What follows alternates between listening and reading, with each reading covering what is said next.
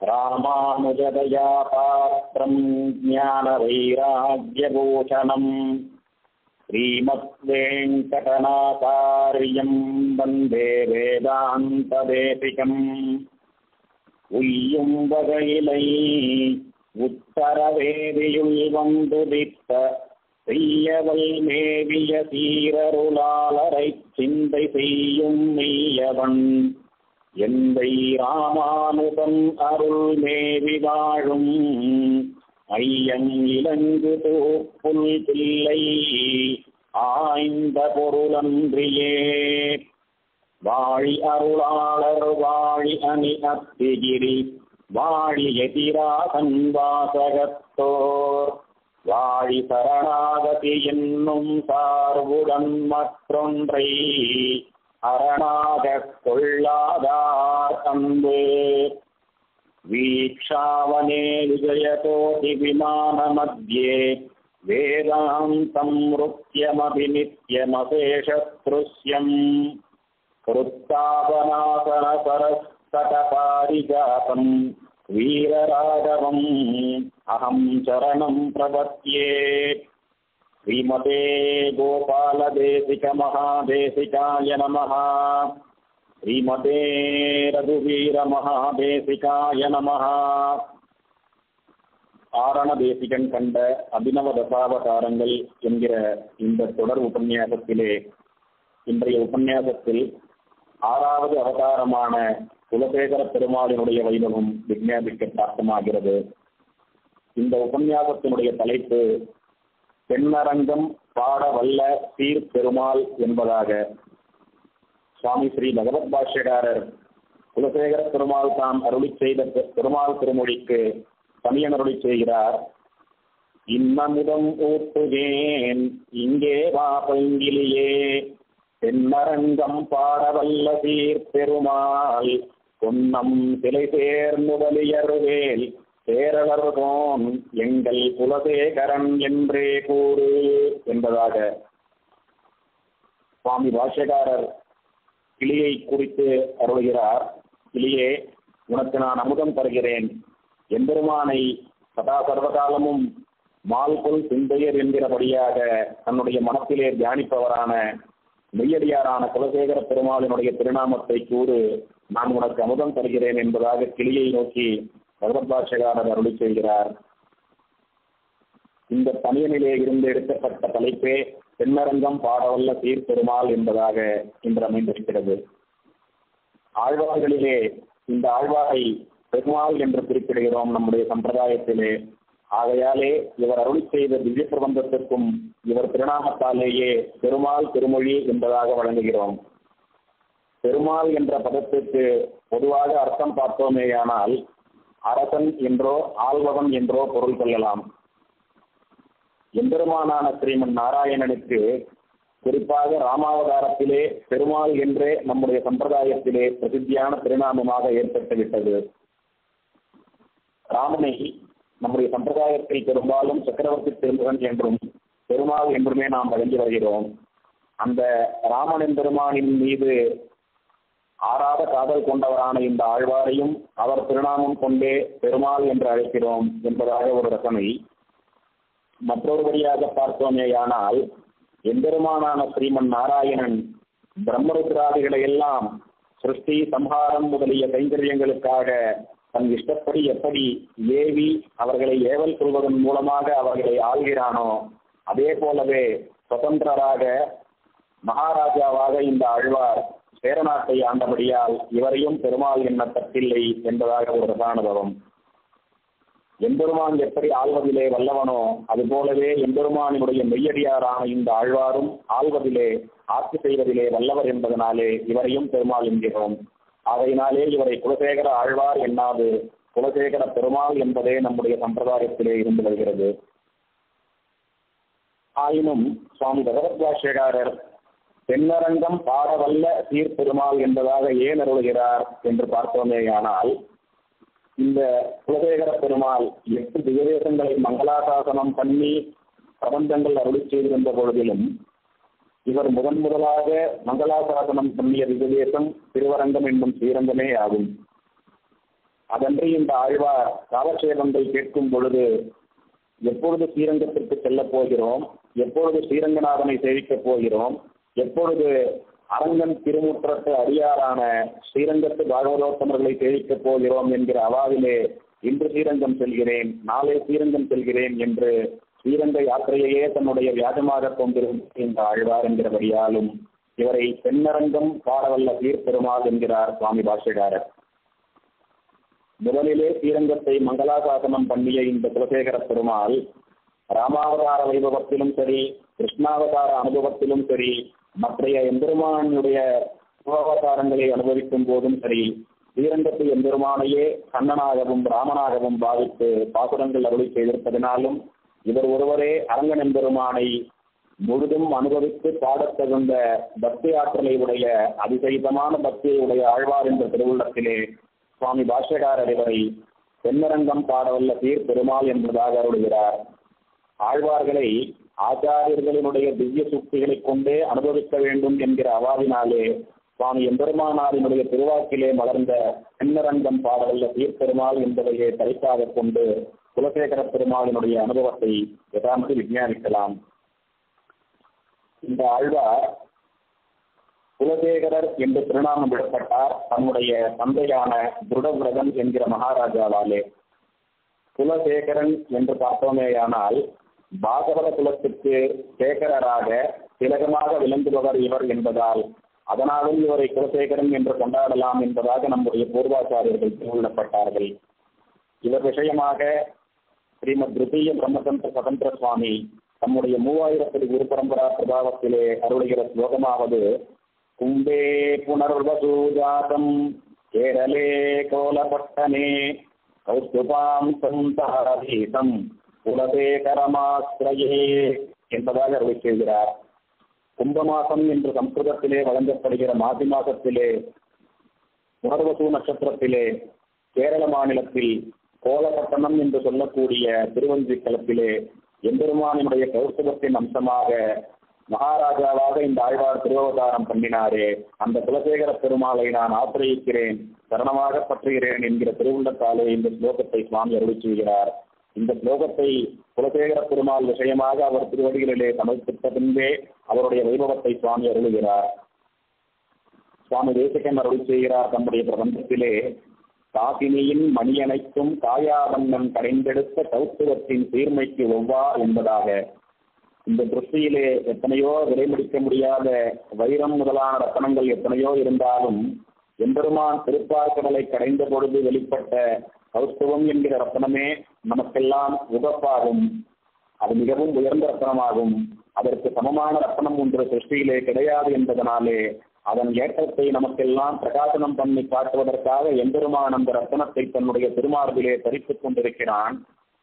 பிராட்டியை எந்த திருமார்பிலே தரித்துக் கொண்டிருக்கிறானோ அதே திருமார்பிலே பிராட்டிக்கு சமமாக அந்த ரத்தனத்தையும் எம்பெருமான் தரித்துக் கொண்டிருக்கிறான் என்றால் அந்த கௌஸ்துப ரத்தனத்தினுடைய மேன்மையை சொல்லவும் வேண்டுமோ? என்கிறார் சுவாமி தேசிகன் தம்முடைய பிரபந்தத்திலே.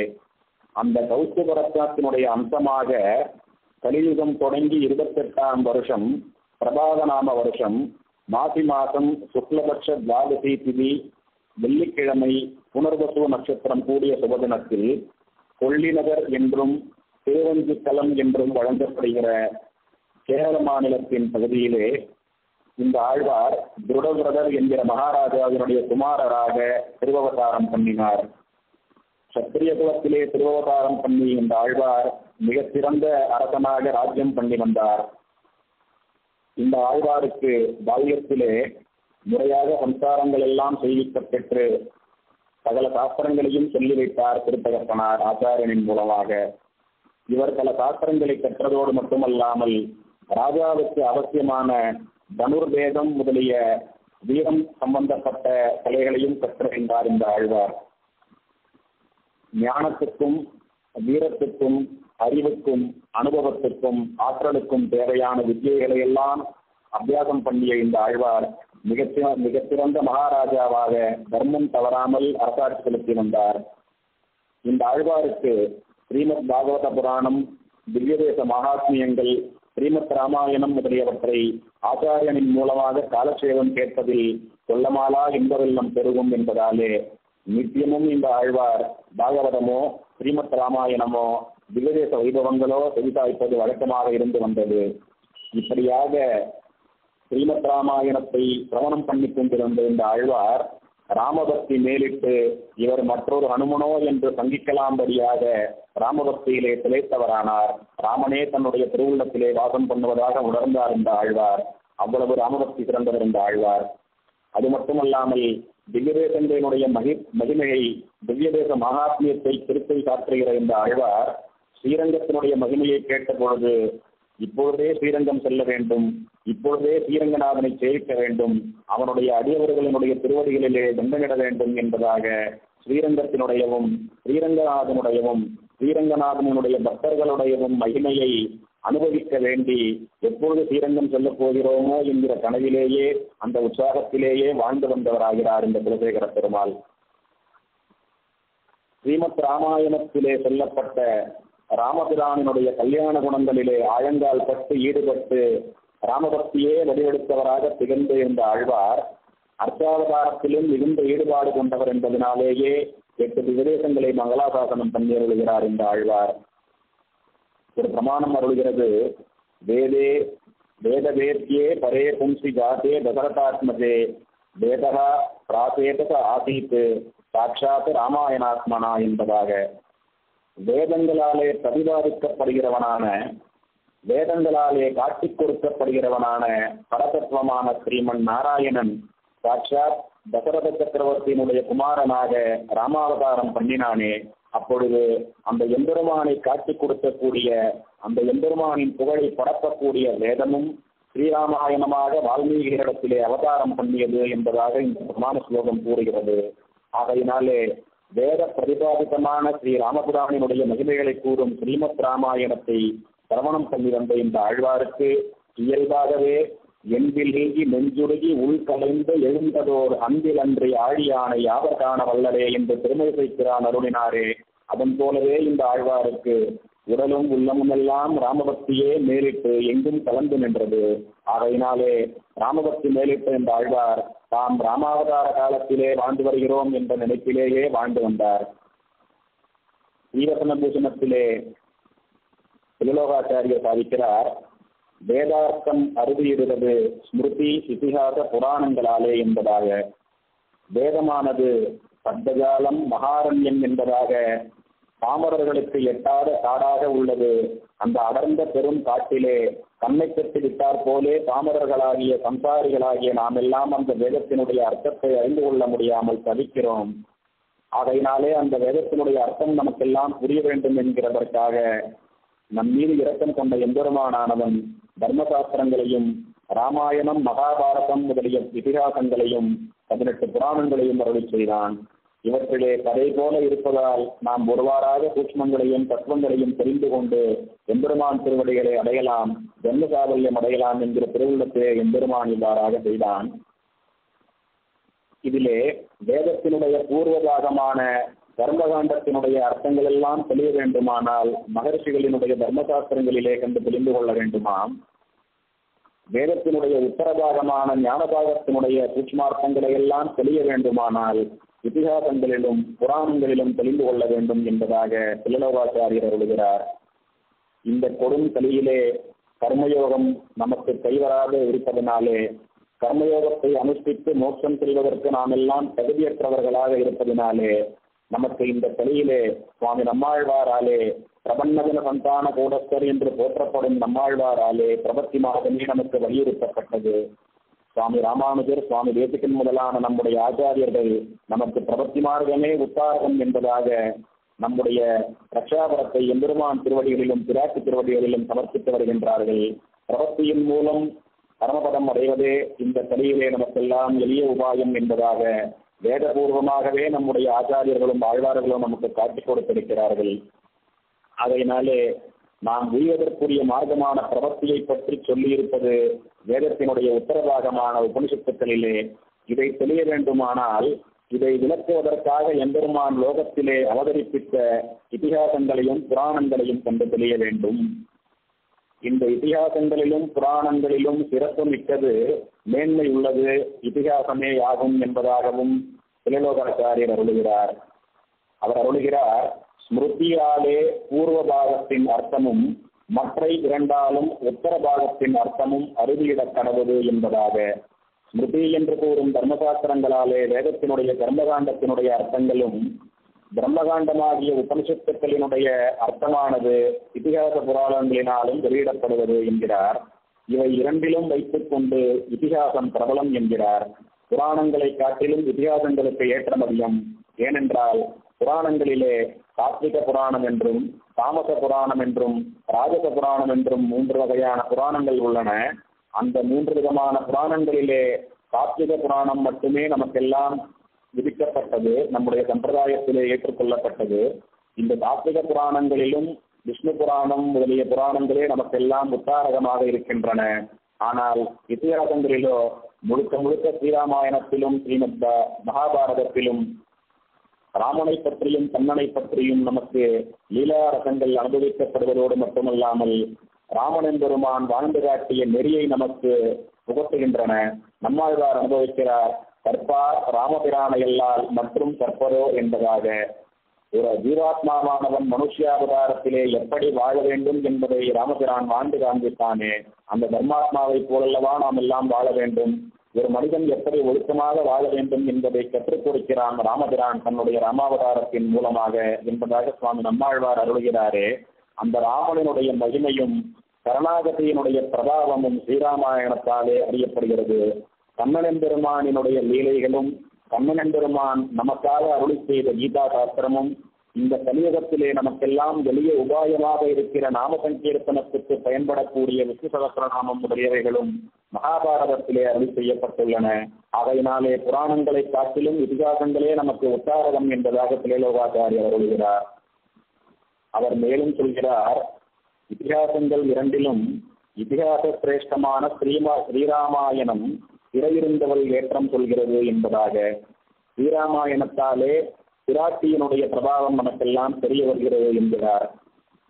ஸ்ரீராமாயணத்திற்கு நம்முடைய சம்பிரதாயத்திலே சரணாகதி சாஸ்திரம் என்பதாக திருநாமம் வழங்கப்படுகிறது. இதிலே காத சரணாகதி விபீஷண சரணாகதி சமுத்திரராஜ சரணாகதி என்பதாக பல சரணாகதி வைபவங்கள் மூலமாக பிரபக்தியினுடைய மேன்மையை நமக்கு ஸ்ரீமத் ராமாயணமானது புகட்டித் தருகிறது எம்பெருமான் ஸ்ரீராமன் அருளுகிறானே என் திருவடிகளை சரணம் என்று பற்றியவனை எல்லாம் நான் ரட்சிப்பேன் என்பதாகவும் தான் சரணாகத ரட்சணத்தையே ஒரு விரதமாக கொண்டு வாழ்ந்து வருபவதாகவும் எம்பெருமான் ராமபிரான் திருவாய் மலர்ந்தருளினானே. அந்த சரணாகத்தியை நமக்கெல்லாம் தெளிய வைக்கிற சாஸ்திரமாக ஸ்ரீமத் ராமாயணம் இருப்பதாலே இதிகாசங்கள் இரண்டிலே இந்த ஸ்ரீராமாயணமே பிரபலம் என்பதாக பிள்ளலோகாச்சாரியர் அருளி செய்கிறார். இந்த ஸ்ரீராமாயணத்தை அலட்சேபமாக கேட்டுக் கொண்டிருக்கக்கூடிய குலசேகர பெருமாள் ஒரு கட்டத்திலே விஸ்மிதராகிறார். எப்படி என்றால் எந்த கட்டம் என்றால் ராமபிரானிடத்திலே மகரிஷிகள் எல்லோரும் சென்று சரணாகதி பண்ணி பிரார்த்தித்துக் கொள்கிறார்கள். கரண் தூஷன் முதலிய அசுரர்களால் தங்களுக்கு உபதிரவம் படுகிறது. அவர்களிடமிருந்து தங்களை ரட்சிக்க வேண்டும் என்பதற்காக எம்பெருமானிடத்திலே பிரார்த்தனை பண்ணிக் கொள்கிறார்கள். எம்பெருமான் பிராட்டியின் திருமேனிக்கு காவலாக இளைய பெருமாள் என்று போற்றப்படும் லட்சுமணனை வைத்துவிட்டு தான் ஒருவனே நின்று அந்த ராட்சசர்களை எல்லாம் சம்ஹாரம் பண்ணி அந்த மகர்ஷிகளுக்கு அபயப்பிரதானம் பண்ணி அவர்கள் தர்மத்திலும் கர்மத்திலும் ஒரு வித்த சிந்தையினர்களாக எழுந்தருளி இருக்குமாறு எம்பெருமான் அனுகிரகம் பண்ணினானே அந்த கட்டத்தை கோசேகர பெருமாள் இப்பொழுது காலக்ஷேபத்திலே சிரவணம் பண்ணி கொண்டிருக்கிறார். இந்த ஸ்லோகமானது ஆழ்வாரை மிகவும் நெஞ்சை உறுத்துவதாக அமைந்தது. சதுர்தச சகசிராணி ரக்ஷசாம் தீனகர்மனாம் ஏகஸ்தராமோ தர்ம ஆத்மா தரம் யுத்தம் பவிஷ்யதி என்கிற இந்த வால்மீகி ராமாயண ஸ்லோகமானது கோசேகர பெருமாளினுடைய திருவுள்ளத்தை மிகவும் பாதித்தது.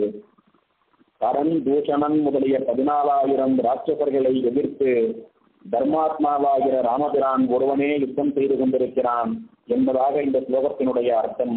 இதை கேட்ட குலசேகர பெருமாள் அந்த ராமனுக்கும் கரதூஷணாதிகளுக்கும் நடந்த யுத்தம் இப்பொழுது நடப்பதாகவே திருவுள்ளத்திலே கொண்டு ஆழ்வார் ராமாவதார காலத்திற்கே சென்று விட்டார். பதினாலாயிரம் கொடிய ராட்சசர்களை தர்மாத்மாவான எம்பெருமான் ஸ்ரீராமன் ஒருவனே சந்திக்கப் போகிறானே அவர்களுடன் இவன் ஒருவனே மோதப் போகிறானே. அந்த எம்பெருமானுக்கு உபகாரமாக நான்கு படைகளையும் நம்முடைய நான்கு சைன்யங்களையும் குதிரைப்படை யானைப்படை தேர்ப்படை காலாப்படை என்று சொல்லக்கூடிய நான்கு படைகளையும் அழைத்துக் கொண்டு அந்த ராமபிரானுக்கு அவன் சார்பிலே நாம் எல்லாம் அந்த பதினாலாயிரம் ராட்சகர்களையும் எதிர்த்து போர் புரிவதிலே அவனுக்கு துணையாக இருப்போம் என்று திருவுள்ளத்திலே கொண்டு ஆழ்வார் புறப்பட்டு கிளம்பிவிட்டார். அந்த அளவிற்கு ராமாவதாரத்தினுடைய மேன்மையை உள்ளத்திலே கொண்டிருந்த ஆழ்வார் ராமாவதார காலத்திலேக்கே சென்று விட்டார் ராமனின் பெருமானினுடைய வைரவங்களிலே அழங்கால் பட்டதனாலே ராமனுடன் ராமனாகவே இந்த பெருமாள் கலந்து விட்டார் பெருமாளுடன் கலந்த பெருமாளாக இருப்பதனாலே இவரை நாம் குலசேகர பெருமாள் என்று அழைக்கிறோம். இப்படி நான்கு சைன்யங்களையும் கூட்டிக் கொண்டு ராமனின் பெருமானுக்காக சக்கரவர்த்தி திருமகனுக்காக சகாயம் பண்ணுவதற்காக இந்த குலசேகர பெருமாளாகிற மகாராஜா புறப்பட்டு விட்டார். இதை இவருடைய அரசவையிலே இருந்த மந்திரிகள் எல்லாம் பார்த்தார்கள். பாகவதோத்தமர்களுடைய சகவாசத்தினாலே பகவத் பக்தி மேலிட்டவராய் ஜெயனாய் ஒளிந்தேன் என் பிராணிக்கே என்கிறவாறு எம்பெருமானுடைய பக்தியினாலே பீடிக்கப்பட்டவராய் ராஜாவானவர் இப்படியெல்லாம் நடந்து கொள்கிறாரே இதற்கு சரியான ஒரு வழி செய்ய வேண்டும் என்பதை மனதிலே கொண்டவர்களாய் ஆழ்வாரின் எதிரிலே நான் இந்த ஸ்ரீவைஷ்ணவர்களை வரவிட்டு அவர்களின் மூலமாக ஒரு ஸ்லோகத்தை குலதேகர் பெருமாளுடைய திருச்செவிகளிலே படும்படி செய்தார்கள். அந்த ஸ்லோகமானது சந்திருஷ்வா சத்ருகந்தாரம் மகர்ஷீனாம் சுதாபகம் பபூவ ஹிருஷ்டா வை தேவி கர்த்தாரம் பரிசஸ்வதே என்பதாக அந்த ஸ்லோகம். இதனுடைய அர்த்தத்தை பார்த்தோமே ஆனால் எம்பெருமான் சக்கரவர்த்தி திருமகனுக்கு எதிரிகளான தாரதூஷணாதி ராட்சசர்களை சம்ஹாரம் பண்ணியவனும் சாதுக்களான மகர்ஷிகளுக்கு அபயப்பிரதானம் என்கிற சுகத்தை அளித்தவனுமான தன்னுடைய கர்த்தாவை பார்த்து சீதா பிராட்டியானவள் மிகவும் சந்தோஷத்தோடே ஆலிங்கனம் பண்ணி கொண்டால் பிராட்டியினுடைய திவ்யமான அந்த ஆலிங்கனத்தினாலே எம்பெருமான் ஆஸ்வாசம் பண்ணி கொண்டான். எம்பெருமானுக்கு யாதொரு குறையும் இல்லை என்பதாக இந்த ஸ்லோகத்தினுடைய அர்த்தத்தை திருவுள்ளத்திலே வாங்கி கொண்ட குலசேகர பெருமாள். அப்பா ராமனின் பெருமானுக்கு ஒரு குறையும் நேரவில்லை என்பதாக அப்போதுதான் விஸ்மிதரானார். அதுவரை ராமனின் பெருமானுக்கு என்ன ஏற்பட்டுவிடுமோ என்று அஞ்சி அவனுக்கு உதவுவதற்காக ராமன் மீதுள்ள பக்தியின் காரணத்தினாலே அதிசயத்தமான அந்த பிரதிபக்தியினுடைய காரணத்தாலே ஆழ்வார் புறப்பட்டார். இதை வியாக்கியானங்களிலே சொல்லும் போது நம்முடைய பூர்வாச்சாரியர்கள் அருளுகிறார்கள். பெருமாளும் இளைய பெருமாளை பிராட்டிக்கு திருமேனி காவலாக வைத்து கரதேசனாதிகளாகிற பதினாலாயிரம் துஷ்ட ராட்சசருடனே தர்மாத்மாவான பெருமாள் ஒருவரே யுத்தோன்முகரானார் என்று எங்கு இழைக்கிறாரோ என்று ரிஷி வயிறு பிடிக்கிறான் என்பதாக அருளுகிறார். இந்த கட்டத்தை எழுதும்போது வால்மீகி பகவான் மிகவும் கஷ்டப்பட்டாராம். இதை ஆச்சாரியர்கள் ரிஷி வயிறு பிடிக்கிறான் என்கிறார்.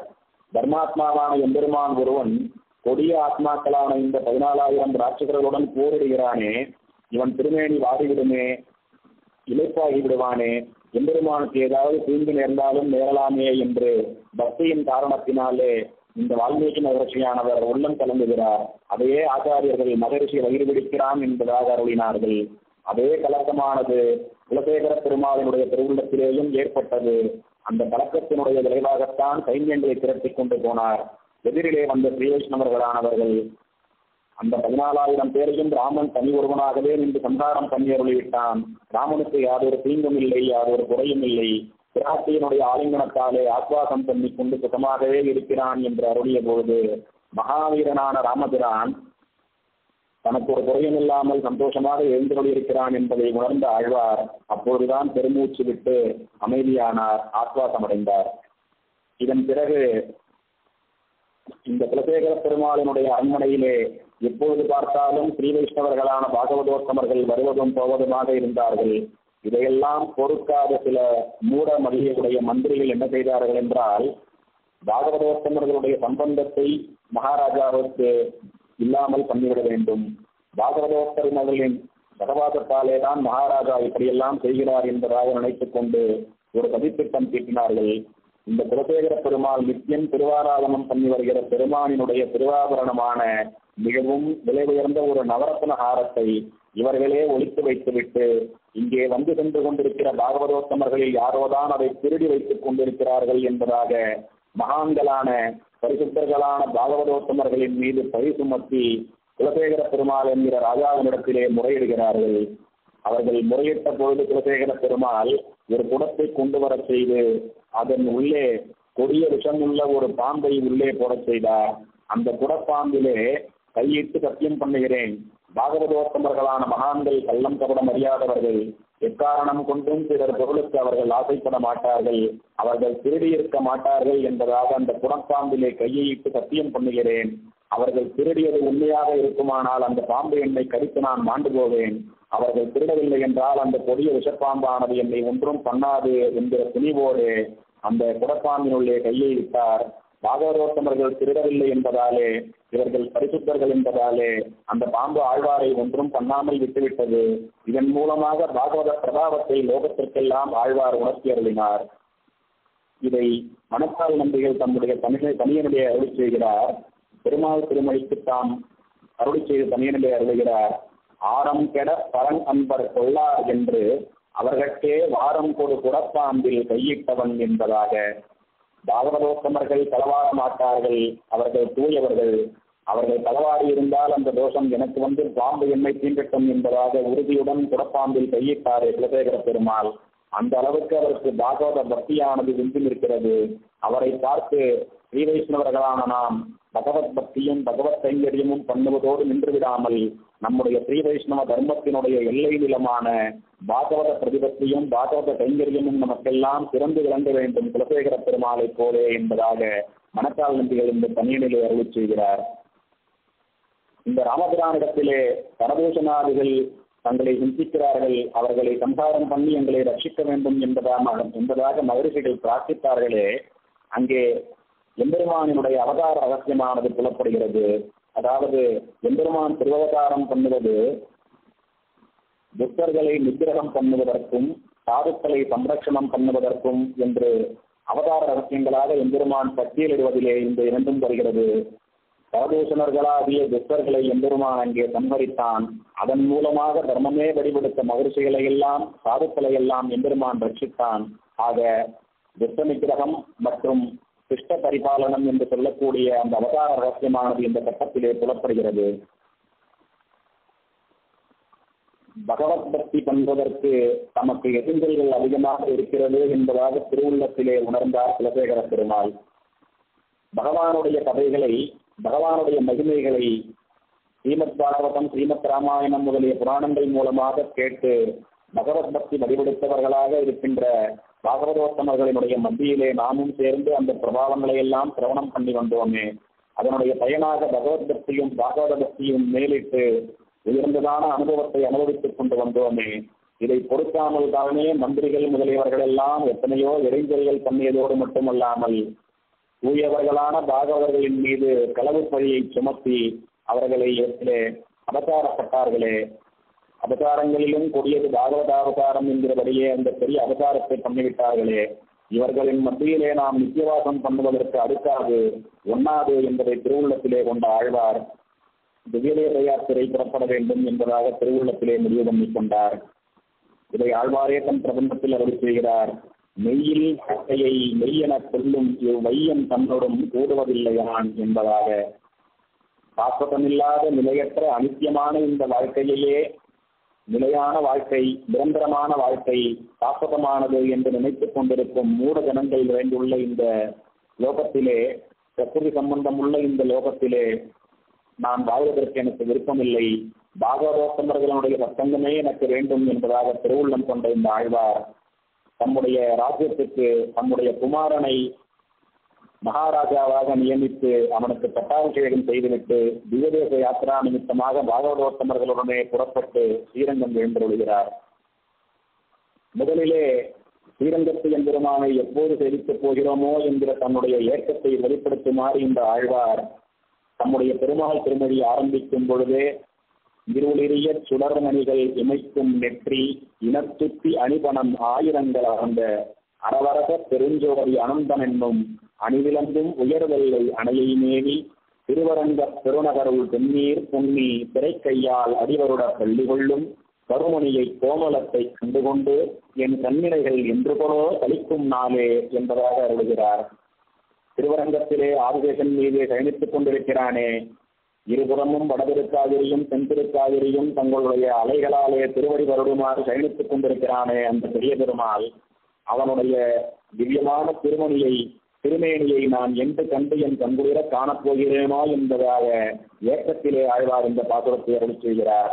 இப்படியாக ஸ்ரீரங்க பெருமானை சேவிக்க வேண்டும் என்கிற ஏக்கத்தாலே அரங்கத்து அரவணையில் பள்ளி கொள்ளும் மாயோனை மனத்தூனே பற்றி நின்று என் வாயா எந்த வாழ்த்தும் நாளே என்பதாக எழுந்துகிறார் பெரிய கோயிலிலே எம்பெருமான் சயனித்துக் கொண்டிருக்கும் அந்த கற்பகிரகத்தை அருகிலே பார்த்தோமேயானால் மனத்தூண்கள் என்பதாக எம்பெருமானுக்கு இரண்டு புறத்திலும் பொன் தகடால் வேயப்பட்ட இரண்டு தூண்கள் இருக்குமே அந்த இரண்டு தூண்களின் நடுவிலேதான் எம்பெருமானானவன் சய சேவசாதிக்கிறான் சயன திருக்கோலத்திலே அந்த இரண்டு திருத்தூண்களையும் பற்றி கொண்டு அவ்வளவு அருகிலே சென்று எம்பெருமானை நான் எப்போது அனுபவிக்கப் போகிறேன் என்பதாக இந்த ஆழ்வார் இயங்குகிறார் இந்த ஆழ்வார் அந்த தூணருகே சென்று எம்பெருமானை எப்பொழுது என் வாயாலே வாழ்த்தி ஸ்லோகங்கள் பாடப் போகிறேன் பாசுரங்கள் பாடப் போகிறேன் என்பதாக தன் பெருவுடத்திலே இருக்கிற ஏக்கத்தை வெளிப்படுத்துகிறார்.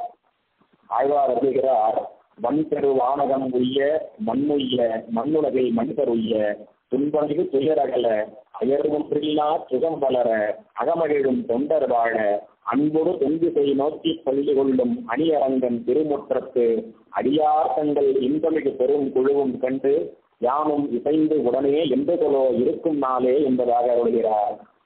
உயிரங்கத்தை சேவிக்க வேண்டும் என்கிற துவரையாலே புறப்பட்டுக் கொண்டிருக்கும் ஆழ்வார் எப்பொழுது ஸ்ரீரங்கநாதரை சேவிக்கப் போகிறோம்? எப்போது அந்த எம்பெருமானை தண்டன் சமர்ப்பிக்கப் போகிறோம்? எப்போது அந்த எம்பெருமானை வாயார வாழ்த்து பாடப் போகிறோம்? எப்போது நம் திருக்கரங்களாலே அந்த எம்பெருமானுக்கு மலர் கூடி அர்ச்சனை செய்யப் போகிறோம் என்பதாக ஏக்கம் மிகுந்த ஆழ்வார் அரங்கனை பாடப் புகுந்த ஆழ்வார் கடைசியிலே அரங்கனுடைய அடிமைகளான அரங்கன் திருமுற்றத்து அடியார்களான பாகவதோத்தமர்களை ஸ்ரீ வைஷ்ணவர்களை எப்போது சேவிக்கப் போகிறோம் என்று பகவத் சம்சலேஷத்தை காட்டிலும் பாகவத சம்சலேஷம் தமக்கு எப்போது ஏற்படும் என்று ஆர்த்தியிலே ஆழ்வார் இங்கே அருள் செய்கிறார். பகவானை காட்டிலும் பாகவதோத்தமர்கள் நமக்கு உத்தேசியரானவர்கள் பகவத் பக்தி போலே பாகவத பக்தியும் நமக்கு உத்தேசியமானது என்பதை ஆழ்வார் இங்கே சூசிப்பித்து காட்டுகிறார். எம்பெருமான் திருவரங்கத்திலே ஏன் சொல்லிக் கொண்டிருக்கிறான்? விண்ணுலகும் மண்ணுலகும் வாழ்வதற்காகவும் இன்பம் தரக்கூடிய தொல்லைகளெல்லாம் ஜீவாத்மாக்களுக்கு நீங்க வேண்டும் என்பதற்காகவும். அயர் ஒன்றில்லாத சுகமான பரமபதவாசம் கிடைக்க வேண்டும் என்பதற்காகவும் எம்பெருமான் திருவரங்கத்திலே பள்ளி கொண்டிருக்கிறான். அந்த எம்பெருமானினுடைய திருவடிகளை ஆச்சாரிய சம்பந்தத்தோட அடைந்தோமே ஆனால் அயர் ஒன்றில்லாத சுகமான வெள்ளமாலா எந்த வெள்ளமான மோட்ச சாம்ராஜ்யத்தை எம்பெருமான் நமக்கெல்லாம் அருள் செய்வான். அதற்காகவே நம்முடைய வரவை பிரதீட்சித்துக் கொண்டு எம்பெருமான் அங்கே பயணித்துக் கொண்டிருக்கிறான். இதை புரிந்து கொண்டு அந்த எம்பெருமானை நித்தியானுபவம் பண்ணி கொண்டிருக்கக்கூடிய அரங்கன் அடிமைகள் இருக்கிறார்களே அரங்கன் திருமுற்றத்தை அறியார்கள். அவர்களுடைய திருவடியே எனக்கு தாரக போஷக போக்கியமாகும். என்று நான் அவர்களுடைய சந்தேகத்திலே இருக்கப் போகிறேனோ என்பதாக இந்த ஆழ்வார் எண்ணுகிறார். பகவானை பாட புகுந்த ஆழ்வார் முதல் பிரபந்தத்திலேயே பாகவதர்களினுடைய மகிமையை பாட துணிந்தார் என்னே ஆழ்வாரனுடைய பாகவத பக்தி. இந்த குலசேகர பெருமாள் தம்முடைய திவ்ய பிரபந்தங்களை குறித்து தான் அருள் செய்யும் பொழுது நடைவிலங்கு தமிழ் மாலை என்பதாக அருளுகிறார். எளிய தமிழிலே இனிமையாக அமைந்திருக்கக்கூடிய உயர்ந்ததான இவருடைய பாசுரங்களினுடைய நடையானது மிகவும் கடினமானவை அல்ல. பதம் குறித்து அறிய வேண்டிய பாசுரங்களாக இவை இல்லை. எளிமையான நடையிலே அனைவருக்கும் விளங்குபவையாகவே இருக்கின்றன என்று தானே தம் திருவாக்கால் நடைவிலங்கு தமிழ் மாலை என்பதாக அருள் செய்கிறார். இது நடைவிலங்கு தமிழ் மாலை மட்டுமல்ல பொருள் விலங்கு தமிழ் மாலையும் கூட வேதத்தினுடைய அறிய வேண்டும் காரணமாம்சங்கள் என்று சுவாமி தேசிகன் ஸ்ரீமத் ரகசியத்திரேசாரத்திலே அருளி செய்தபடிக்கு மிக உயர்ந்ததான சுஸ்மார்த்தங்களை எல்லாம் குலசேகர பெருமாளுடைய பிரபந்தமானது நமக்கு அருளி செய்கிறது. பகவானை பாட புகுந்த ஆழ்வார் பாகவதர்களினுடைய மகிமையை பாடினார். அந்த பாகவத பிரபாவத்தை ஆழ்வார் திருவாக்காலே அனுபவிக்க முற்படுவோமே ஆனால் ஆழ்வார் அருளுகிறார் எம்பெருமானை சதா சர்வகாலமும் தங்களுடைய திரிகரண சித்தியாலே ஆராதித்துக் கொண்டிருக்கும் பாகவதோத்தமர்கள் இருக்கிறார்களே அவர்களை சேவிப்பதே அவர்களை காண்பதே என் கண் கிடைத்த பயனாகும் என்பதாக அருளுகிறார். ஒருவனுடைய பாதங்கள் குறைய வேண்டுமானால் எம்பெருமான் திருவடி சம்பந்தம் பெற்ற கங்கா தீர்த்தத்திலே தானம் பண்ண வேண்டும் என்று சாஸ்திரங்கள் எல்லாம் விதிக்கின்றனவே. அந்த கங்கா தீர்த்தத்திலே தானம் பண்ணினாலும் கூட தானம் பண்ணுபவன் ஒருவனுடைய பாவத்தையே அது போக்கும். ஆனால் எம்பெருமானையே சதா சர்வகாலமும் பஜித்துக் கொண்டிருக்கும் பாகவதோத்தமர்களுடைய பாத தூளியானது மேலே பட்டால் அந்த பாதத்தூளி ஸ்நானமானது நம்முடையவும் நம்மை சார்ந்தவர்களுடையவும் பாவத்தை போக்க வல்லது என்பதாக கங்கையை காட்டிலும் பாகவத பாதத்தூளிக்கும் பாகவத ஸ்ரீபாத தீர்த்தத்துக்கும் உள்ள ஏற்றத்தை ஆழ்வார் தம் பிரபந்தத்தாலே அருள் செய்கிறார் ஆழ்வார் அருளுகிறார் ஏரகர்த்ததும் ஏனமாய் நிலம் கீண்டதும் முன்ராமனாய் மாறடர்த்ததும் மண்ணலந்ததும் சொல்லிப் பாடி வன் பொன்னி பேராறு போல் வரும் கண்ணநீர் கொண்டு அரங்கன் கோயில் திருமுற்றம் சேருகை கொண்ட தொண்டர் சேவடி செழும் சேரு என் பெண்ணிக்கு அணிவனே என்பதாக எம்பெருமான் ராமாவதாரம் கிருஷ்ணாவதாரம் வராகாவதாரம் முதலிய தசாவதாரங்களிலே என்னென்ன லீலைகளை எல்லாம் செய்து காட்டினானோ அந்த லீலைகளை எல்லாம் தியானித்துக் கொண்டு சொல்லிக் கொண்டு பிரகடனம் செய்து கொண்டு அந்த எம்பெருமானினுடைய லீலா பிரவாகத்திலே அவனுடைய லீலைகளை அனுபவித்துக் கொண்டு சதா சர்வகாலமும் ஆடி பாடிக்கொண்டிருக்கிறார்களே ஸ்ரீரங்கத்திலே பாகவதோத்தமர்கள் அவர்கள் பகவத் பக்தியாலே அவர்களுடைய தந்தையிலே தந்தலிலே தண்ணீரானது ஜலமானது தாரை தாரையாக பெருகுகிறது. பகவத் பக்தி மேலிட்டு வரக்கூடிய அந்த ஆனந்த தண்ணீரானது காவிரியாருடைய வெள்ளம் எப்படி பெருப்பெடுத்து ஓடுகிறதோ அப்படி ஓடிக்கொண்டிருக்கிறது. அதனாலே திருவரங்கம் பெரிய கோயிலிலே இவர்களுடைய தண்ணீர் பட்டு மண்ணும் அதிலே சேர்ந்து எங்கும் சேராத காட்சியளிக்கிறது அந்த சேரை பாகவதோத்தமர்களுடைய திருவடி சம்பந்தம் பட்ட அந்த சேரை என்னுடைய கழுத்துக்கு நான் திருவாபரணமாக அணிவேன் என்பதாக ஆழ்வார் அருளுகிறார். இதிலிருந்தே ஆழ்வாரினுடைய பாகவத பக்தியினுடைய உச்சவரம்பானது மேன்மையானது நமக்கெல்லாம் தெல்ல விளங்குகிறது. எத்தனையோ தங்கம் நவரத்னம் வெள்ளி என்று விலை உயர்ந்த ஆபரணங்களை எல்லாம் ராஜாவாக இருக்கும்போது தம்முடைய திருக்கயத்திலே காத்துக் கொண்டிருந்த இந்த ஆழ்வார் பாகவதோத்தமர்களுடைய திருவடி சம்பந்தம் பெற்ற பேரை தன்னுடைய திருக்கழுத்துக்கு மாலையாக வேண்டும் என்று ஆசைப்படுகிறாரே. இதுவல்லவோ நிலையான செல்வம். எத்தனையோ செல்வத்துக்கு அதிபதியாக இருந்த ஆழ்வாரே அந்த ஐஸ்வர்யம் எல்லாம் நிலை அல்லது நிலையானது அல்ல நிலையற்றது அசாஸ்வதமானது அனித்தியமானது என்பதை உணர்ந்து இப்போது பாகவதர்களுடைய ஸ்ரீபாத தூளியை ஆபரணமாக கேட்கிறாரு. நாம் எல்லாம் இதை உணர்ந்து பார்த்து பகவத் பக்தியையும் பாகவத பக்தியையும் பாகவதர்களுடைய மகிமையையும் பெருக்கிக் கொள்ள வேண்டும் என்பதாக ஆழ்வார் திருவுள்ளம் வாசகர்களினுடைய திருவடிகளையே என் மனசானது எப்பொழுதும் வாழ்த்திக் கொண்டிருக்கும் தியானித்துக் கொண்டிருக்கும் என்பதாகவும் ஆழ்வார் அருள் செய்கிறார். ஆதி அந்தம் அனந்தம் அற்புதம் ஆன வானவர் தம்பிரான் பாதமாமலர் சூடும் பக்தியில்லாத பாவிகள் விழுந்திட தீமையில் நன்னெறி காட்டி எங்கும் தெரிந்து அரங்கனெம்மானுக்கே காதல் செய் தொண்டர்க்கு எப்பிறப்பிலும் காதல் செய்யும் என் நெஞ்சமே என்பதாக ஆழ்வார் அருளுகிறார்.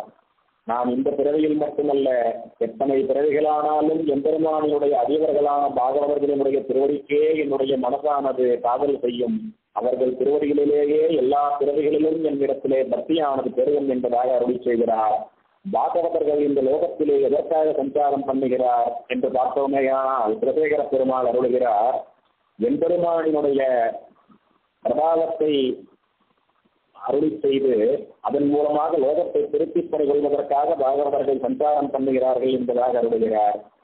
எம்பெருமானுடைய திருவடியை தங்களுடைய தலையிலே சூடுவதற்கான தகுதியை பக்தியை இல்லாத பாபஜன்மாக்கள் எல்லாம் ஒழிந்து அந்த எம்பெருமானுடைய திருவடியை அடைய வேண்டும் என்பதற்காக பாதிகள் நிறைந்த இந்த லோகத்திலே பாகவதோத்தமர்கள் தம்முடைய திருவடியை சாற்றி சஞ்சாரம் பண்ணி இந்த உலகத்தை பாவனமாக்குகிறார்கள். பாவிகளினுடைய தோஷங்களையும் பாபங்களையும் போக்கி அவர்களுக்கு பகவத் சம்பந்தத்தை ஏற்படுத்துகிறார்கள் என்பதாக ஆழ்வார் அருளி செய்கிறார். பாகவதர்களுடைய திருவடி சஞ்சாரத்தால் இந்த லோகமே பாவனமாகிறது என்பதை பெரியாழ்வாரும் தன்னுடைய திருவாய்மொழியை பெரிய திருமொழியிலே அருளி செய்கிறார். பெரியாழ்வார் திருமொழியிலே அருளி செய்கிறார்.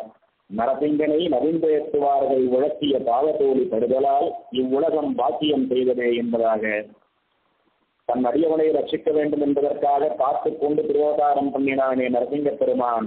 அவனை எந்நேரமும் பிரித்துக் கொண்டிருக்கிறார்களே பாகவதோத்தமர்கள். அவர்களுடைய திருவடியிலே இருந்து பட்ட பாதகூலியானது இந்த லோகத்திலே பரவுவதாலே இந்த லோகமானது பரம பவித்திரமாக ஆகிறது என்பதாக பெரியாழ்வார் அருளுகிறார். இதையே ஆத்ம புராணம் கூறுகிறது. ஏ கண்டலக்ன துளசி நளினாட்சமாலாக ஏவா லலாட்ட தலகேச சதூர்த்த குன்றாக ஏ பாகுமூல பரிசிஞ்சித சங்ககற்றாக ஏ வைஷ்ணவா புவனமாக பவித்ரயந்தி என்பதாக எவர்கள் ஒருவர் துளசி மாலையையும் தாமரை மணி மாலையையும் தங்களுடைய திருக்கழுத்திலே அணிந்தவர்களாக இருக்கிறார்களோ எவர்கள் உயர்ந்ததான ஸ்ரீ வைஷ்ணவ லோகத்திற்கு ஸ்ரீ வைகுண்ட லோகத்துக்கு அழைத்துச் செல்லக்கூடிய ஊர்வ குண்டத்தை தரித்தவர்களாக இருக்கிறார்களோ திருமண் காத்து காத்துக் கொண்டிருக்கிறார்களோ எவர்கள் தோளினுடைய அடிப்பாகத்திலே எம்பெருமானுடைய சின்னங்களான சங்கச்சத்திரங்களை பஞ்சசம்சாரம் என்கிற ஆசாரிய சுற்றுசையினாலே தரித்துக் கொண்டிருக்கிறார்களோ அவர்கள் திருவடி பருவதாலேயே இந்த லோகத்தினுடைய மாசானது இந்த லோகத்தினுடைய அபாவனமானது போய் லோகம் பவித்திரமாகிறது பாவனமாகிறது என்று பாத்ம புராணமே அருளுகிறது. அத்தகைய எம்பெருமானுடைய பக்தர்களான மெய்யடியார்களினுடைய சிறப்பிலே தம்முடைய எல்லையில்லாத அடிமைத்தரத்தை என்றும் விரும்புகிறேன் என்பதாக ஆழ்வார்களை செய்கிறார் பகவானை காட்டிலும் பாகவதர்களுக்கே என்றும் நாம் எல்லா பிறவிகளிலும் வலிமையாக இருக்க வேண்டும் என்பதாக அருள்கிறார். குலசேகர பெருமாள் ஸ்ரீரங்கநாதனையும் ஸ்ரீரங்கத்து அடியவர்களான பாகவதோத்தமர்களையும் மங்களாசாரணம் பண்ணிய ஆழ்வார் அடுத்தபடியாக எம்பெருமான் நித்தியவாசம் பண்ணிக் கொண்டிருக்கக்கூடிய திருவேங்கடமலையிலே தனக்கு ஏதாவது ஒரு ஜென்மா கிடைக்க வேண்டும் என்பதாக அந்த எம்பெருமானை பிரார்த்திக்கிறார். ஊனேறு செல்வத்து உடன் பிறவி யான் வேண்டேன்? ஆனேர் ஏழ்வென்றன் அடிமை திறமல்லால் ஊனேறு தங்கம் இடத்தான் தன் வேங்கடத்து கோனேறி வாழும் குருகாய் பிறப்பேனே என்பதாக எம்பெருமானை பிரார்த்திக்கிறார். எம்பெருமானே திருவேங்கடமுடையானே உன்னுடைய திருமலையிலே நான் கொக்காகவோ மீனாகவோ ஒரு தூணாகவோ அருவியாகவோ பிறந்து உன்னுடைய திவ்ய கண்டு கொண்டிருப்பேன் உன்னுடைய அனுபவத்திலே நான் கழித்திருப்பேன் இந்த உன்னுடைய வடிவமே பயணித்துக் கொண்டிருக்கிறார் போன்ற பவித்திரமான இந்த திருமலையிலே எனக்கு ஏதாவது ஒரு ஜென்மா அருள் செய்ய வேண்டும் என்பதாக எம்பெருமானை பிரார்த்திக்கிறார் குலசேகர பெருமாள் இந்த பதிகத்திலே. நம்முடைய குலதெய்வமான சுவாமி தேசிகன் ஸ்ரீமத் ரகசிய பிரியகாரத்தினுடைய உத்தர கிருத்தியாதிகாரத்திலே குலசேகர பெருமாளினுடைய இந்த ஊனேறு செல்வத்தை என்று தொடங்கும் பதிகத்தை உதாகரித்து காட்டுகிறார். பிரபன்னன் பிரபத்திக்கு பிறகு எப்படி இந்த லோகத்திலே வாழ வேண்டும் என்கிற நிஷ்டையை கூறுவது உத்தர திருப்தி அதிகாரம். இந்த அதிகாரத்திலே ஆழ்வார் எப்படி எம்பெருமானுக்கு நீக்கமில் அடிமை என்னும்படியாக கைங்கரியம் செய்ய வேண்டும் என்பதாக அருள் செய்கிறாரோ அப்படி இந்த ஊனேர் செல்வத்தை என்று ஆரம்பிக்கும் பெருமாள் திருமொழி பதிகத்திலே அருளப்பட்டவாறு ஒரு பிரபன்னனுடைய பிரபத்திற்கு பிறகான வாழ்க்கையானது அமைய வேண்டும் என்பதாக சுவாமி தேசிகன் தம் திருவுள்ளத்தை ஸ்ரீமத் ரகசியபிரியகாரத்திலே அருள் செய்கிறார். இப்படி திருவேங்கடமலையிலே ஏதாவது ஒன்றாக பிறந்து எம்பெருமானை அனுபவிக்க வேண்டும் என்று விளைந்த ஆழ்வார் கடைசியாக அருளுகிறார் பெரியாய வைகனைகள் தீர்க்கும் திருமாலே நெடியானே வெங்கடவா நின் கோயிலின் வாயில் அடியாரும் வானவரும் அறம்பெயரும் கிடந்தியங்கும் படியாய் கிடந்து உன் தவளவாய் காண்பேனே என்பதாக அருளுகிறார். அனாதிகாலமாக நாம் தண்ணிக்கொண்டு வருகின்ற வினைகளை எல்லாம் தீர்க்கக்கூடிய சக்தியுடைய எம்பெருமானே திருவேந்திரமுடையானே உன்னுடைய திருக்கோயிலின் காதலிலே உன்னுடைய பக்தர்களான பாகவதர்களும் தேவர்களும் தேவஸ்திரிகளும் உன்னை சேவிப்பதற்காக காத்துக் கொண்டிருக்கிறார்களே. அந்த படியாக இருந்து உன்னுடைய பவளவாயை நான் தரிசனம் பண்ணுவேன் என்பதாக ஆழ்வார் வருகிறார் அதனாலேயே திருவேங்கடத்திலே எம்பெருமானுடைய சட்ட கிரகத்துக்கு முன்னாலே இருக்கக்கூடிய அந்த படிக்கு குலசேகரன் படி என்பதாக திருநாமம் காட்டப்பட்டிருக்கிறது. திருவேங்கடம் மட்டுமல்லாமல் எல்லா உபதேசங்களிலும் சர்ப்ப முன்னால் இருக்கக்கூடிய முதல் படிக்கு குலசேகரன் படி என்றே நம்முடைய சம்பிரதாயத்திலே ஆழ்வார் திருநாமத்தை இட்டு போற்றி வருகிறோமே அதற்கு காரணமாக இருக்க ஆழ்வாருடைய பாசுரம் உன் படியாக கிடந்து உன் பவளவாய் காண்பேனே என்பதாக இந்த பாசுரம் தான் ஆழ்வார் திருமலையிலே ஏதேனும் பிறப்பேனே என்று ஒவ்வொரு ஜென்மங்களாக வேண்டியவர் எம்பெருமான் அதற்கு எதுவும் பதில் சொல்லாததாலே எம்பெருமான் பொன்மலை மேல் ஏதேனும் ஆவேனே என்பதாக இந்த திருவேங்கடமலையிலே ஜென்மா பெற்று உன்னை அனுபவிக்க வேண்டும் என்பதுதான் என்னுடைய ஆசை. எதுவாக வேண்டுமானாலும் என்னை நீ பிறக்க செய். ஆனால் இந்த மலையிலே ஒரு அவதாரம் செய்யக்கூடிய பாக்கியம் எனக்கு கிடைக்க வேண்டும் என்பதாக ஆழ்வார் இந்த பிரபந்தத்தை தலைப்பெற்றுகிறார் வித்துவக்கோட்டை பெருமானை மங்களாசாசனம் பண்ணின ஆழ்வார் கருதுயரந்தடாயேல் உன் கரநல்லால் கரமில்லை விரை குழுவு மலர்பொழி சூழ் விற்றுவ ஆனே. அரிசினத்தால் ஈண்டதாய் அகற்றிடினும் மற்ற அவள் தன் அருள் நினைந்து அழும் குழவி அதுவே போன்றிருந்தேனே என்பதாக அருள்கிறார். ஒரு தாயை அவளுடைய குழந்தையானது தொந்தரவு பண்ணிக்கொண்டே இருந்ததாம்.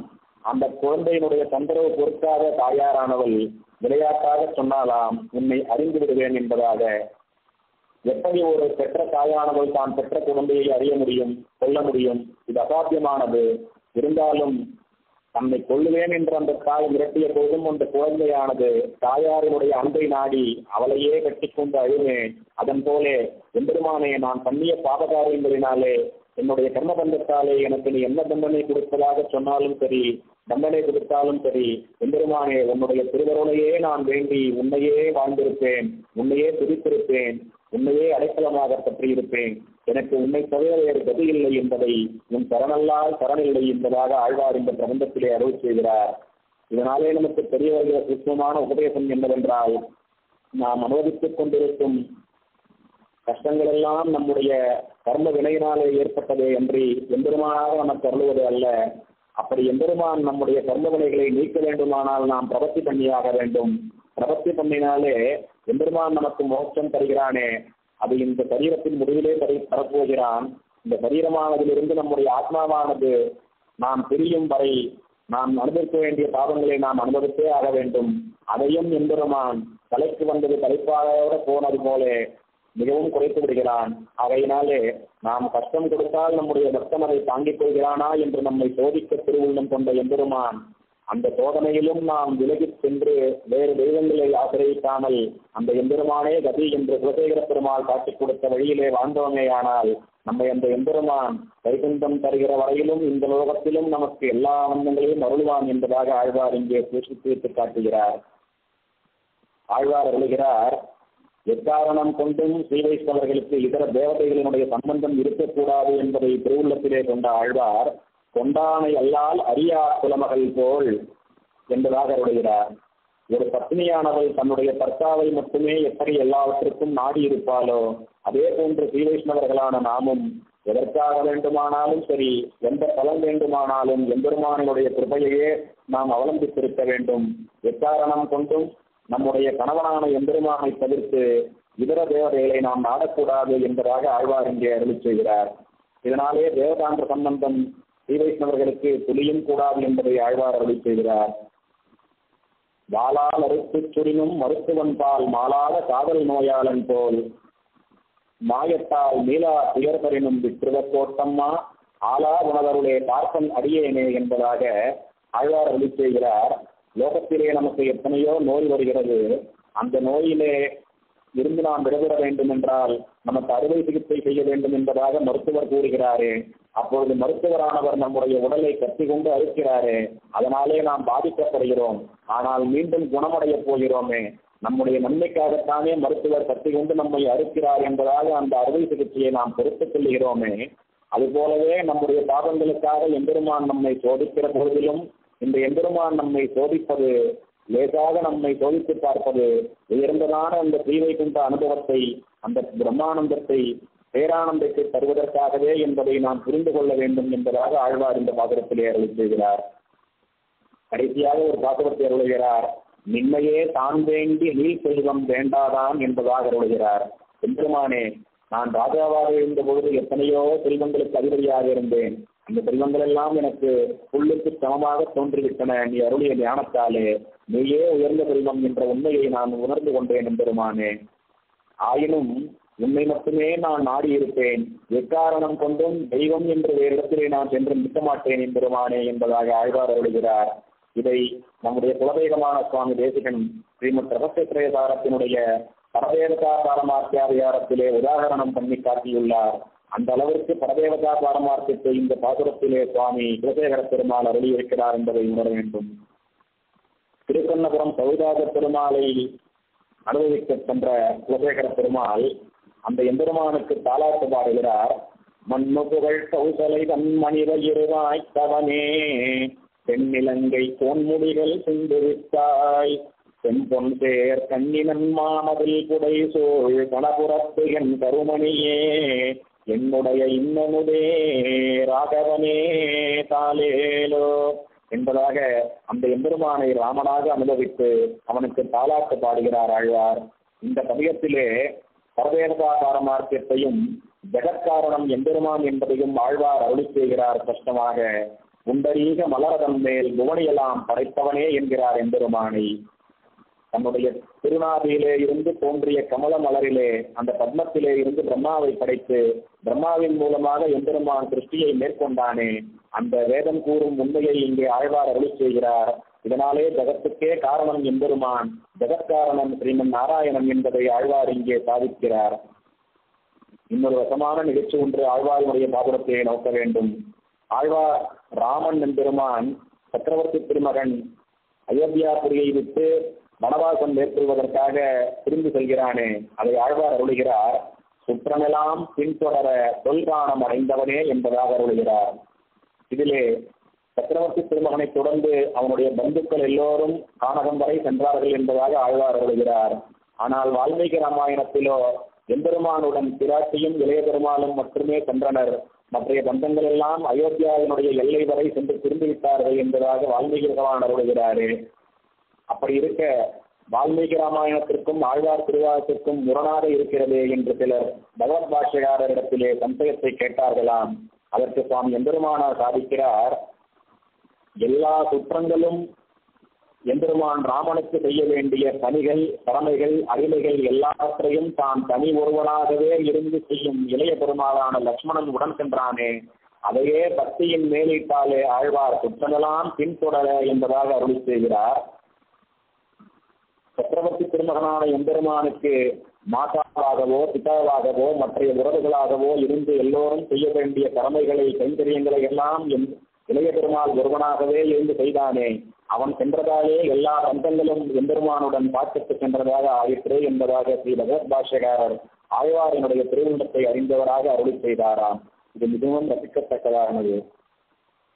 அங்கன் நெடுமதில் சூழ் என்கிற பாசுரத்திலே என்கிற பதிகத்திலே பதினோரு பாசுரங்கள் அருளி செய்து ஸ்ரீமத் ராமாயணத்தினுடைய சாரத்தை ஆழ்வாரிகளே அருளி செய்கிறார்.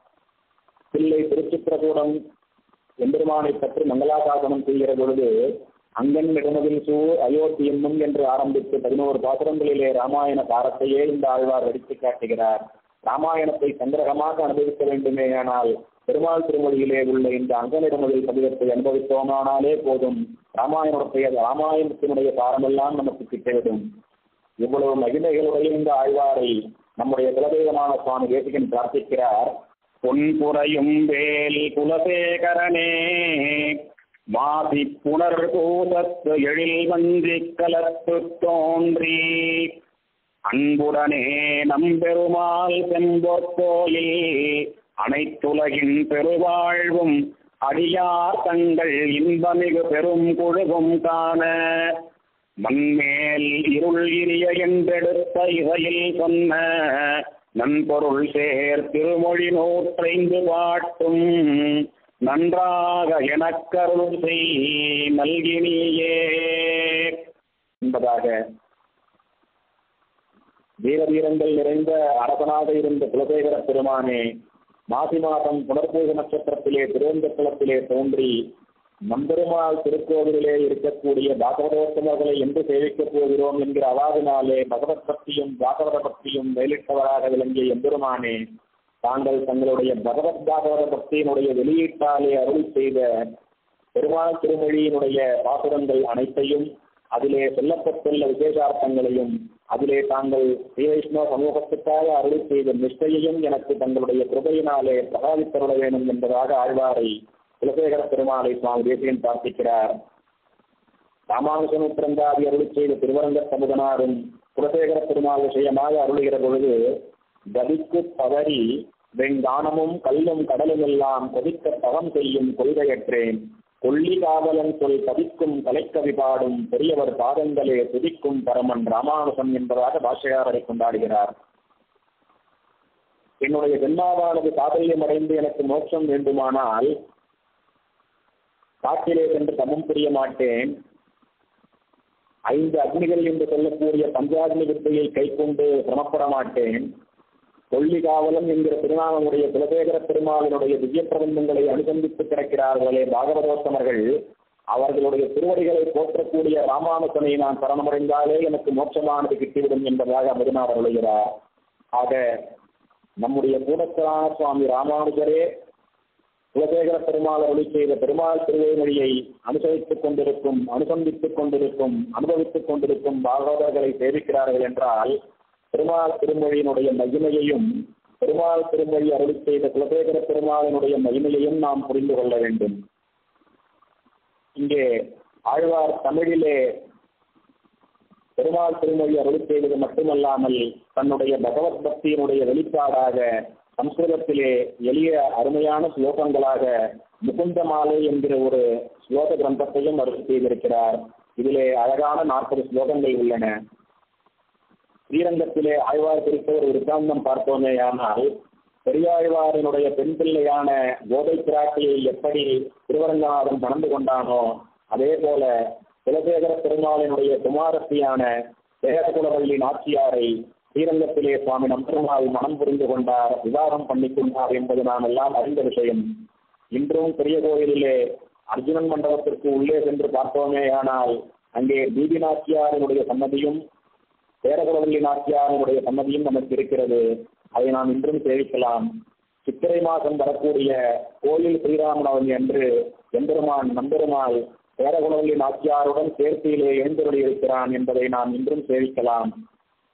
பெரியாழ்வார் எப்படி ஆண்டாளை எம்பெருமானுக்கு கன்னிகாதானம் செய்து கொடுத்து மாமனாரானாரோ அதுபோலவே குலசேகர பெருமாளும் தம்முடைய குமாரத்தியான பேரவரவள்ளி நாச்சியாரை நம்பெருமாளுக்கு விவாகம் பண்ணி வைத்து தாமும் நம்பெருமாளுக்கு மாமனாராகிறார். இந்த குலசேகர பெருமாளினுடைய திருவவதார தினத்தின் மகிமையை போற்ற வந்த மணவாள மாமணிகள் தம்முடைய உதயகர்த்தன மாலையிலே அருள் செய்கிறார். மாசி புனர்பூசம் தாண்மை நின்ற மண்ணுலகீர் பேசு இத்தியோகத்துக்கு ஏது எண்ணி பேசுகின்றேன். கொள்ளி நகர்த்தோன் குலசேகரன் பிறப்பால் நல்லவர்கள் கொண்டாடும் நாள் என்பதாக அருளுகிறார். குலசேகர பெருமாள் திருவவதாரம் பண்ணின மாசி புனர்பூசத்தினுடைய மகிமை என்னவென்று லோகத்தாரை உங்களுக்கு கூறுகிறேன் கேட்டுக் கொள்ளுங்கள். நல்லவர்களான சாது பரிகணங்கள் நினைத்து நினைத்து சந்தோஷப்பட்டு ஆழ்வார் திருவோதாரம் பண்ணிவிட்டாரே. லோகத்திலே இருக்கிற சம்சாரிகளான பாபாத்மாக்கள் எல்லாம் ஞானம் வரப்பெற்று திரும்பி பெருமான் திருவடிகளை அடையப் போகிறார்களே. அதற்காகத்தானே ஆழ்வார் திருவோதாரம் பண்ணியிருக்கிறார். பிரபந்தங்களை அருள் செய்திருக்கிறார் என்று நல்ல உள்ளம் கொண்ட சாது பரிதங்கள் எல்லாம் கொண்டாடும்படியாக இந்த நாடானது அமைந்திருக்கிறது. குலசேகர பெருமாளினுடைய திருவதாரத்தாரே என்பதாக அந்த திருநாளினுடைய பெருமையை மணவாள மாமணிகள் அனுபவிக்கிறார். ஸ்ரீமன் திருத்தீய பிரம்மசந்த சுதந்திர சுவாமி அருளி செய்த குலசேகர பெருமாளினுடைய வாழ் திருநாமத்தை அனுபவிப்போமே. ஆனால் அஞ்சனமாமலை பிறகு சிந்திப்போம் வாழியே. அருள் மாசி புனர்பூசத்து அவதரித்தோன் வாழியே. அம்சுடர் சோழ் திருமணத்தோன் அடைந்த பிரான் வாழியே. அணியரங்கன் அடியார்க்கே ஆப்பட்டான் வாழியே. செஞ்சாலிமிது வஞ்சி நகர் வந்தான் வாழியே. திருமொழி நூற்றைந்து செய்யுள் செப்பினான் வாழியே. வஞ்சமர அடியார்காய் சபதமிட்டான் வாழியே. வஞ்சியர் போன் மலர்ப்பதங்கள் மாநிலத்தில் வாழியே. என்பதாக குலசேகர பெருமாளை சுவாமி வாழ்த்தி அருளுகிறார். குலசேகர பெருமாளினுடைய வைபவமானது ஆயிரம் நாவுகள் படைத்த ஆதிசேகனாலும் சொல்லி முடிக்க முடியாத பிரபாவங்களை உடையது. ஏனென்றால் பகவத் பக்தியை காட்டிலும் பாகவத பக்தியே ஸ்ரீ வைஷ்ணவர்களுக்கு உத்தேசியம் என்பதை தம்முடைய வாழ்க்கையிலே நடைமுறையிலும் தம்முடைய பிரபந்தங்களின் மூலமாக உபதேசமாகவும் பதிவு செய்த இந்த ஆழ்வாரினுடைய மகிமையானது என்றும் நாம் நம் உள்ளத்திலே நினைத்து நினைத்து பூரிக்கும்படியாக உள்ளது. இந்த ஆழ்வாரினுடைய மகிமையை முழுதுமாக அறிந்து கொள்ள வேண்டுமானால் இவர் அருள் செய்த பெருமாள் திருமொழியினுடைய நூற்றைந்து பாசனங்களையும் வியாக்கியானத்தோடைய சேவித்து ஆழ்வாரின் திருவடிகளிலே நமக்குள்ள பக்திகளை மேலும் பெருக செய்ய வேண்டும். இந்த ஆழ்வார் திறத்திலே நாம் எல்லாம் நித்தியம் ஜபத்மதை உடையவர்களாய் இவருடைய மகோபகாரத்தை நித்தியம் அனுசந்தானம் பண்ணி கொண்டிருக்க வேண்டும். இதை நமக்கு நம் சுவாமி தேசிகனே அருள் செய்கிறார். ஆழ்வாரினுடைய இரண்டு பாத்திரங்களை தம்முடைய உத்தரத்தியாதிகாரத்திலும் பரதேவதா பாரமார்த்தியாதிகாரத்திலும் ஸ்ரீமத் ரகசிய பிரேதாரத்திலே சுவாமி தேசிகன் மேற்கோள் காட்டி அருளினாரே. அதிலிருந்தே ஆழ்வாரினுடைய தீசூர்த்தியினுடைய மேன்மை விளங்குகிறதே நமக்கு. சுவாமி தேசிகனே ஆழ்வார் திருவடியிலே பதிவத்தையோடு அவரை தெய்வமாக வணங்குகிறாரே. தேசிகனை குலதெய்வமாக கொண்டு வாழ்ந்து வரும் நாம் எல்லாமும் தேசிகனுடைய தேசிகனை பின்பற்றியே ஆழ்வாரின் திறத்திலே பக்தி நிறைந்தவர்களாய் ஆழ்வாரை கொண்டாடுவோம். ஆழ்வாரினுடைய தீசூர்த்திகளாகிற அமுதத்தை பருகி நிலையான இன்பமாகிற மோட்சத்திலே சிரஞ்சீவிகளாக வாழ்வோம் என்பதாக விஞ்ஞாபித்துக் கொண்டு அமைகிறேன் कवितार्किकसिंहाय कल्याणगुणचालिने श्रीमते वेङ्कटेशाय वेदान्तगुरवे नमः दारिद्रितविरोदङ्गपञ्जाननपराद्रमः श्रीमान् वेङ्कटनाचार्य स्थिरं विजयतां भुविः स्वविस्वाग्रसमासीनतुरङ्गाननहेषितैः सुनिरस्तविपक्षाय तुर्यन्तार्याय मङ्गलम्। श्रीमते गोपालदेशिकमहादेशिकाय नमः। श्रीमते रघुवीरमहादेशिकाय नमः।